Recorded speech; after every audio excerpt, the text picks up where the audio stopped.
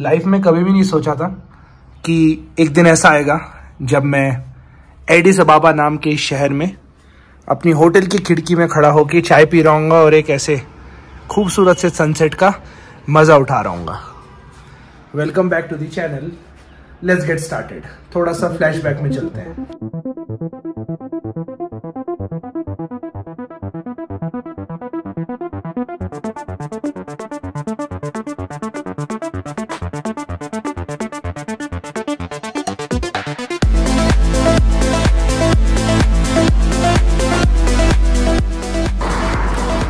सो अब से पूरे दस दिन पहले I started my journey from Cape Town and I was travelling to Mumbai connecting flight थी इथोपिया um, से. इथोपिया की कैपिटल सिटी एडिस अबाबा से. सारी फ़्लाइट वहीं से लेके आपको अफ्रीका के बाहर ट्रैवल करना पड़ता है बट भगवान की मर्ज़ी ये थी कि मैं वो फ़्लाइट मिस करूँ और एयरपोर्ट से बाहर जाऊँ एडिस अबाबा शहर में 24 घंटे बिताऊं और आपके लिए खूबसूरत सी वीडियो बनाऊँ. सो so,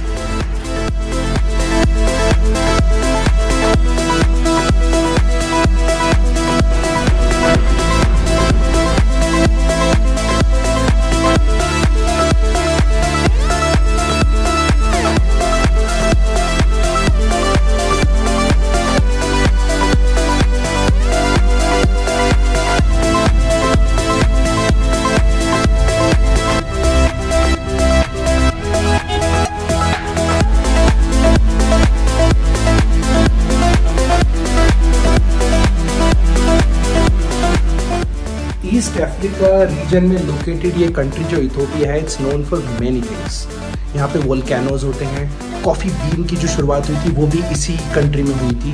इस कंट्री में 3.2 मिलियन यानी कि 32 लाख साल पुराना ह्यूमन स्केलेटन भी है oldest in the world but there is also one very interesting thing about this country और for that matter, this city is that it is strategically located at a particular spot on the map of africa that it is very difficult to travel in and out of africa without taking a connecting flight from this particular city Addis Ababa and the international airport here is huge in terms of the connectivity. Switzerland, America, Austria, England, Hong Kong, India के अलग अलग कोनों की हर जगह की flight है यहाँ से सो yesterday I started my journey from Cape Town, South Africa and I was traveling to Mumbai, India And in between I had a connection in Addis Ababa, Ethiopia. Flight delay हो गई Cape Town से तो बॉम्बे वाली flight miss हो गई. And I have to spend 24 hours in this beautiful city because अगली flight 24 घंटे के गैप के बाद ही है बॉम्बे की. अच्छी बात यह है कि दुनिया के किसी भी कोने में चले जाओ अपने दोस्त लोग हैं. सो so, यहाँ पे भी हैं. They are coming to fetch me and just drive me around the town and show me the capital city Addis Ababa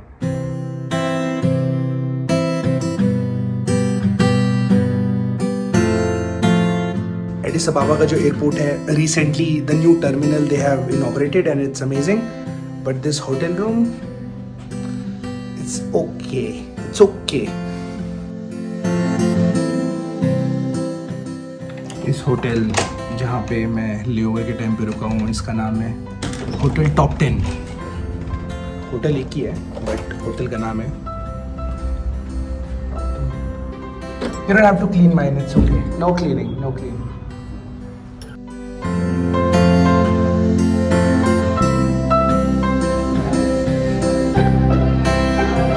You made very good coffee in the morning. The second time was not good. So make it like first time. first time it was so good. Little bit, yeah.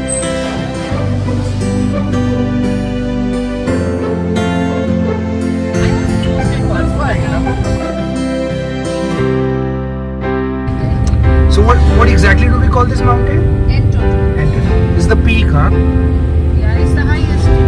Wow,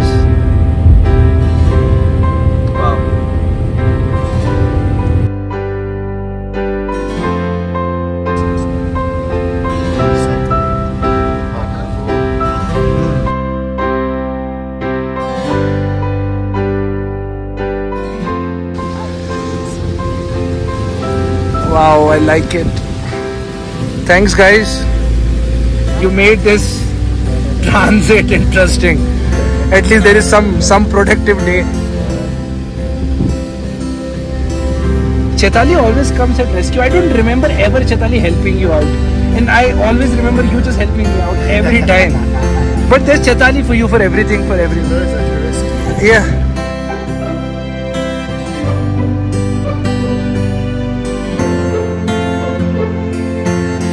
But she just like took a flight because I missed my flight.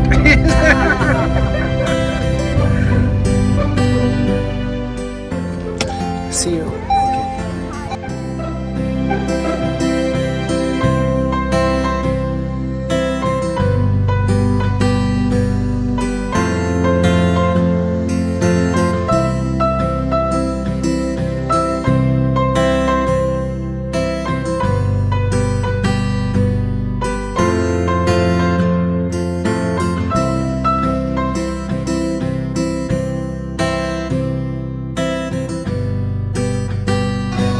So right now having my lunch at the highest peak of Addis Ababa सबसे ऊँचा जो जगह है पहाड़ के बिल्कुल ऊपर।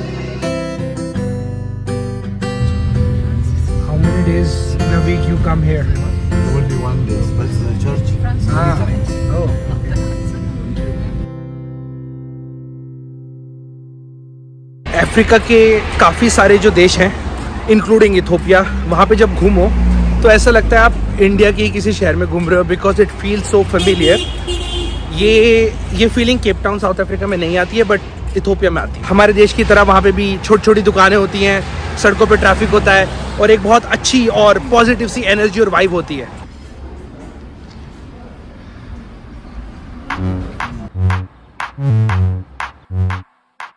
Ultimately, it was so good to see my friends after so long in Ethiopia और जब मैं वहाँ से निकला तो आई वॉज़ हैप्पी कि मेरी फ़्लाइट मिस हो गई क्योंकि मुझे एक स्पेशल दिन लाइफ में बिताने को मिला अपने दोस्तों के साथ। And once again it's not about the place it is always about the people in our life so find those people and make sure that you hold on to them and never let them को